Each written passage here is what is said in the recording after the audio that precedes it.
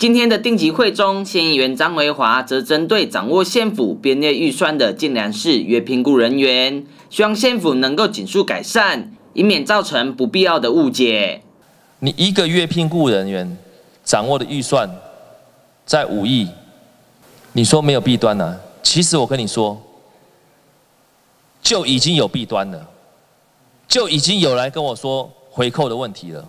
哦，现在的社会你也清楚。没有那么笨呐，都不好意思说，不敢说，怕被刁难。说了之后，那怎么会呢？所以我说，你就不要让它发生，也不要让它有这种漏洞。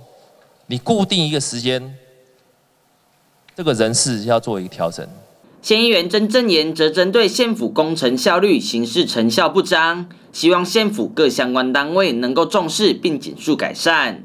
这个吼算夜期，这嘛讲足久诶，啊，拢我做发包发包，啊，一直拖遮久，一拖再拖，拖到咱真正迄个甲咱发现迄个所在，咱即件咱馆长嘛有去看现场，啊，馆长嘛嘛有签嘛答应就要做，啊，咱到处去啊关心，到尾啊煞一下就毋敢去，谁人敢去咧？伊讲议员，你讲要做馆长有签啊，但是但是是即个做维护咱诶吼，是真诶假？但讲要做安尼，一时人一拖再拖，啊！我希望讲吼，咱每一个螺丝，每一个迄个爱交案，无采馆长撞撞到要死。县议员张维华与曾正元议员都向县府各相关单位提出许多看法及意见，希望县府各相关单位能够重视并紧速改善。记者邱炳义南投县议会采访报道。